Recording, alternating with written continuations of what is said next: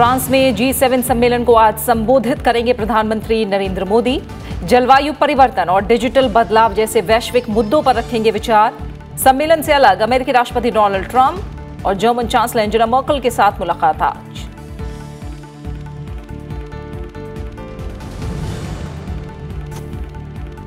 जी seven सम्मेलन के इतर प्रधानमंत्री नरेंद्र मोदी की ब्रिटिश प्रधानमंत्री बोरिस जॉनसन से मुलाकात, व्यापार, निवेश, रक्षा, सुरक्षा समेत अहम क्षेत्रों में द्विपक्षीय सहयोग बढ़ाने पर चर्चा। संयुक्त राष्ट्र महासचिव एंतोनियो गुतेरेस से मुलाकात में क्लाइमेट एक्शन समिट में भारत की भागीदारी और आपसी हित के मुद्दों पर हुई बात।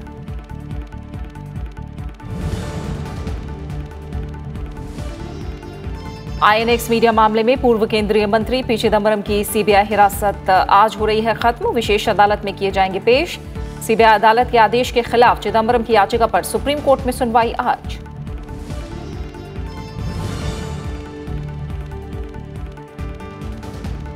प्रधानमंत्री नरेंद्र मोदी की प्लास्टिक के खिलाफ जन आंदोलन की अपील। मन की बात कार्यक्रम में कहा, महात्मा गांधी की 150वीं जयंती पर सामुदायिक सेवा होगी सच्ची श्रद्धांजलि। 11 सितंबर से शुरू हो रहे स्वच्छता ही सेवा अभियान में प्लास्टिक कचरे से मुक्ति पर रहेगा विशेष जो ज़ोर।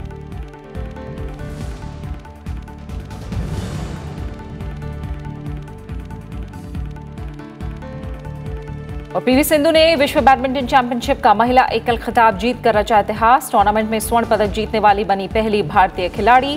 राष्ट्रपति, उपराष्ट्रपति और प्रधानमंत्री ने ऐतिहासिक उपलब्धि पर दी बधाई।